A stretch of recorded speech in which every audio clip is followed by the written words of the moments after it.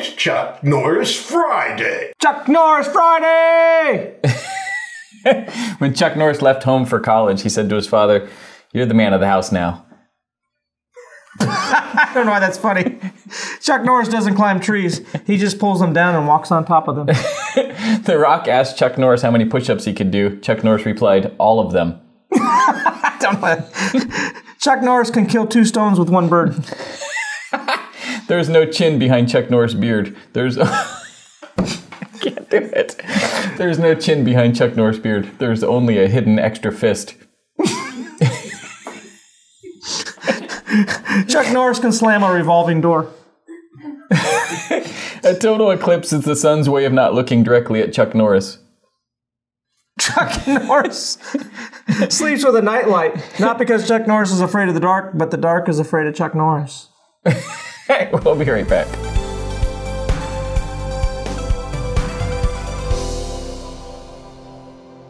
He's got a fist behind his beard, though. It's a hidden extra fist. That's pure comedy right there. like whoever morning. wrote that one. Good morning. Welcome to Wake Up. Where we wake up. I'm Pastor Scot. I'm Pastor Jason. So good to have you with us. We're going to do a morning scripture. We're going to pray every day. It's going to be a lot of fun. Today we're going to be in Ruth chapter 4. Don't forget to like and subscribe. Yes. And to share. But yeah, we're going to be where? Ruth chapter 4 and verses 1 through Oh, 2. wow. Okay. Yeah. We're talking about the battle. Yeah, the battle is at the gate. And your message this weekend, you, you need to go watch this. It's it it talks about winning the battle at the gate or, or turning it back, and, and it's really about your mind, what you choose to think about. Because if you can beat it at the gate, right when it's trying to be thought about, right? I mean, thoughts are going to come, Right. but do we think about the thoughts that came? That's different. Isaiah 28 talks about, see, Isaiah 28 talks about the strength is for those that push back the battle at the gate.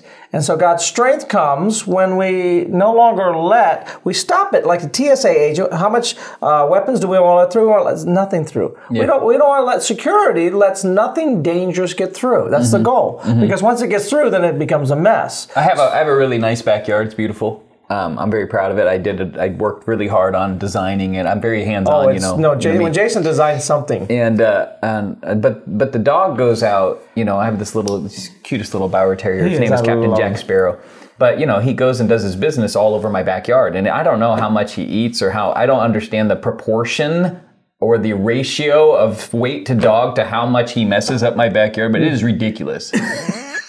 it's a ridiculous yeah, amount of mess. I've been back there. So we're building a little area where he can kind of he'll get to play, but for the most part, he's going to kind of stay in this area on the side of the house. Is he going to look like the cows where you're just going to put him through like a little fence so and I'm putting a fence up to keep the mess from getting in. Right. There's going to be a little gate, and we can open the gate and close the gate. And from inside the house, he can go in and out and come and go as he pleases. But he's gated once he's in the backyard, So we're gating our thoughts. and it's because you can get a lot of crud Right. in the backyard of your heart if you don't have a gate over that little dog that likes to think about the wrong things. That's just good. I wish I had that. That's That little dog runs around and he just poops all over you. It's all over, and then you step and in then you come and- home and you're so mad at everybody, and it's because your thoughts got all, and you're negative, and now you're going to sleep offended, Right. And you're worried about all things that you can't. You're worried about things you can't even change, Things that don't even matter. and and uh, because why? Because we've we've allowed all this poop all over our backyard. Yeah, you step in it when you, you're just trying to enjoy your little walk outside. And Put in a doggy door and then build a gate. build a gate. That's a good thing for you today. Build a doggy door of your mind, mm-hmm. and make sure you stop every thought. Yeah. You'd be amazed at, at if you'll just stop every single one of them. We battle out here, so you battle with friends, spouses, you battle with your, your teenagers out there, you're battling with your parents, and you don't realize you're like, well, if I could change them, but you realize if you could just stop the thought. It would stop your response. It would stop what you're creating. Um, we went, we'd gone o- over the weekend to something, and um, at this gathering, I'm just going to put it out there. This is a gathering that you and I were at. There was somebody that was just wanted to battle me. Everything that I said, I, it was wrong, Yeah. and it, it went on for like ten minutes. It was me. It wasn't Jason. It would never be you. But it was, you, you know what I'm talking about. Everything I said, Yeah. it was like not the best way to parent. It was not the best thing that I'm doing, everything. Yeah. And it just kept getting to my TSA agent, and my TSA agent goes, you know what? Whatever, who cares? Yeah. And I just smiled and I continued on. I didn't have to argue with him. I didn't have to tell him all the things that was wrong with him. Yeah. And that's the power of stopping it at the gate. When you let it in, then what happens is not only you're all worked up inside and emotional now because somebody attacked you, but now also you start thinking about all the things you should have said, could have said, wanted to say, and I, you hurt me, I'm gonna hurt you back. yeah, let me tell you what's wrong with your but, life. But Jesus is like, no, I want you to return evil with good. And Right. well, how do you do that? Well, you got to not let the evil in. Yeah, so it yeah. doesn't impact you at all. And Ruth chapter 4 and verse 1, story of Ruth, amazing story about a woman that was redeemed. And, and Boaz, this kinsman redeemer, is really a picture of Christ. She's a picture of the church. It's an amazing story. But just kind of grabbing a little piece of this story, this is the moment of redemption of Ruth's life. It says, Meanwhile, Boaz went up to the town gate it's in the gate. check this out. And he sat down there. Mm-hmm. Just as the guardian redeemer he- he had mentioned came along. Boaz said, Come over here, my friend, and sit down. So now they're both sitting at the gate. Now watch this. He says, So he went over and sat down. Boaz took 10 of the elders of the town and said, Sit here. And they did so. And, and I was looking at that, the elders of the, at the gate, that Deuteronomy 22, Deuteronomy 25 has the elders sitting at the gate. Right. So who are the elders? The, the, the wise people. Mm-hmm. Where do the wise people, the, the wisdom, the voice of wisdom and reason belongs sitting at, the, the gate. So what I'm saying is, is like, when a thought comes in, you want the smartest part of you, the most reasonable part of you, Right. to sit at the So gate and go, Jason. is this going to help my future or hurt my future? Right.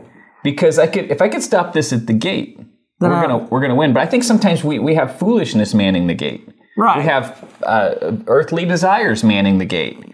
We have the wrong kind of thing sitting at the gate. It just lets they- anything in the gate. oh, come on in! Get in there. That's gonna be fun to think about. You know, it's fun to think about Discouragement? offense. Hey, let's think about that thing that happened a few years ago. Let's let's mull that over for today. You know- Come on in there. Thinking about negativity is fun. As weird as it sounds, is actually It it's like feels- it's like a Twinkie. Because it's like the flesh. It feels Come good. on in, man. Oh, Get some boy. negativity. Hey, we got a song. Here's the old Tiffany song. Right? And you throw the old song. Think we're on alone now. Right? Doesn't seem what could have been? No, it's one. of. No, it's the one about what could have been. Like, What Pastor, don't ever sing that song again. So beautiful. I don't even know that song. Yeah. Could have been so beautiful. Could have been so right. What is the song? Tiffany's could have been. You're, but why is it? Why is Tiffany letting in something negative? I'm trying to I follow don't. you. No, I'm, I'm like I'm saying. Like people want you want to have that negative, the breakup. So you got the breakup song Oh, going. yeah, yeah, yeah. And uh, what that does is it gets, it gets the atmosphere all going in the mind, and before long, you're feeling down and what you missed out on and what you didn't have. It's really fun to feel bad about yourself. It It, is. feels good. And if you have the bad about yourself feeling guy manning the gate, Yeah. he's gonna be like, wait, we're gonna feel bad about ourselves? Oh my gosh! Get that in here. I'm so excited. Rejection? Please come on in. Enjoy the town. Have fun. This is There's so. There's a party great in the shopping house. in here. You can have a good time. Yeah, We're gonna get- take hey, a load off. Go talk to discouragement, man. He's back in the corner by himself. Discouragement.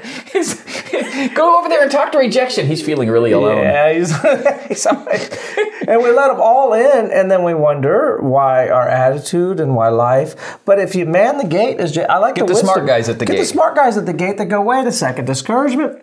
You're not going to give us a good day. I'm not. No, I'm not going to let you in. Yeah. I'm not. I'm not. I'm manning this. I'm in charge of this. Hey, Are you sure? We're gonna have fun. No. Yeah, I can't let you in. I know it's fun, but it, it's it's not going to produce a good life. Ultimately, it's not fun. Say, hey, Joy, you know what? In the back there, Joy, get in here. Yeah, we're gonna get everybody part of the ways. Joy's coming in. We're gonna let Joy in. Let some peace in there, some confidence. You showed up. You're Yeah, here. yeah. And you find out all of a sudden. And what happens is, if you've done this long enough, you're in the beginning. It's almost like you're manning the gates. Yeah.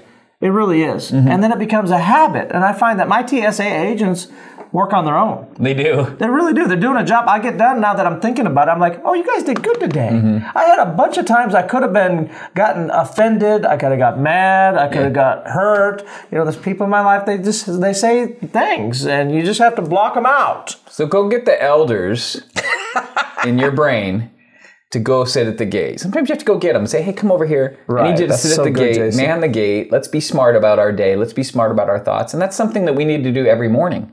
Every morning, go get the elders and sit them at the gate. And then go through your day, and your day is going to be so much different. It's going to be so much better. It's going to be so much more filled with peace and less turmoil. Let's pray. I wish I had that for Sunday. I always get stuff when you talk. But that's why we do wake up, is to kind of expand things. I know, things. but my going. sermon would be I feel the same way when you talk about whatever so I've been teaching. better. Thank you. Dang it. Dear Father, Lord, we ask that you see how that I let him through the gate. Dear Father, Lord, I ask right now that you bless them. You give them a great day. Help them mm. to put the elders at the gate, to get the right people at the gate in a sense that block out everything that's discouraging, everything that's bad, everything that's negative, but instead that they're only going to let in, as, as Philippians says, only going to let in those things that are praiseworthy, those things that are encouraging, those things that build up, those things that make me believe that I can overcome whatever's in front of me, those things that bring peace to my life and bring joy. Those are the only things. Everything else, I turn away at the gate. In Jesus' name, amen. Amen. Well, watch this clip. Isaiah 28, verse 5 and 6. In that day, the Lord Almighty will be a glorious clown. Cl- clown? My gosh. Change the whole scripture. Just like that. Just change it all. That's going to go all over the YouTube. Pastors are going to be talking about, yeah, this is what Scot said. So now we got to have it bleeped out when I do that. And God is going beep. All right, so God is will be a glorious crown. that might be the funniest thing I've ever said. And a beautiful wreath with a remnant of His people. Verse six. He will be a spirit of justice to the one who sits in judgment, and a source of strength. That's key. Underline that. To those who turn back the battle at the gates. Where's the battle? Where's the battle? Okay, so he'll turn back, those that'll turn back the battle at the gates. Number two, write down the strength. Today really is about making sure that you have the strength for the battles that matter. The enemy would love to get you battling out there somewhere and chasing down things that should be running from you. Right? Battling things that should be going in the opposite way. Getting you to stay up at night about imaginary battles that really are not yours to fight. If he can get you over here battling this relationship and battling the, the boss and battling the economy and get you to battle everywhere out there, then you don't have the strength and the resources for the battle that has to take place at the gate. God says, I'll be your strength if you'll turn back the battle at the gate, is where the battle is. And when we're thinking about security, I was thinking about this with Joel Osteen when we're out there, right number three down at the gate. I was thinking that, you know, you walk in, you got to go through the big metal detectors. And I, then I thought, Disneyland now, even to get into Disneyland, you got to go through their metal detectors and go through their gate. TSA, of course, the big one, when you want to get in and go on a flight, you got to go through the security that happens at the gates. TSA is concerned with stopping stuff at the gates. Their concern is not the parking lot. Their concern is not what's going on at Superstition Springs Mall. Their concern isn't what's happening out there somewhere. They know that their battle is at the gate. And if they let a weapon or anything get past the gate, then back here we're not really as prepared to battle it here. How many weapons do they want to stop at the gate? 90%? They want all of them. Because everyone they let through makes a big mess over here. But then once again, think about this. They're not down where you're sitting to get on the plane, past the security checkpoint, doing their security there. That's not where they're pulling people aside and trying to find people as they're walking around, down around the Wendy's. That's not where they're doing that. Right? Because if we do everything at the gate, then I don't have to waste my energy. Because you know how much resources would be trying to figure out and catch people down way over there? Right? We'd wasting all. No, get everybody at the gate. And it's at the gate that we're going to stop everything from going through. Everything that we go, go through now has the ability to hinder where the planes are going, whether they can take off, the delay, and the same thing for you and I. That everything that stops at the gate, that's our battle. I don't battle out here. I just do the battle at the gate, and in that I get this strength. Give us thumbs up, like and subscribe. Like and subscribe. Share. subscribe. If you're ever in the Arizona area, please come hang out with us. Uh, if not, go to your church. Go to church. Don't Find forget it- to be in church this weekend, Yeah, wherever it is. Church refreshes, restores. It just makes life better. If you're part of the Living Word family, you happen to live around here, we encourage you come out. We're starting a new relationship series. Starts this weekend, Right. and you're gonna like this. It's Called everywhere too. relationship goals. Every one of our pastors is teaching on relationships for the next three weeks.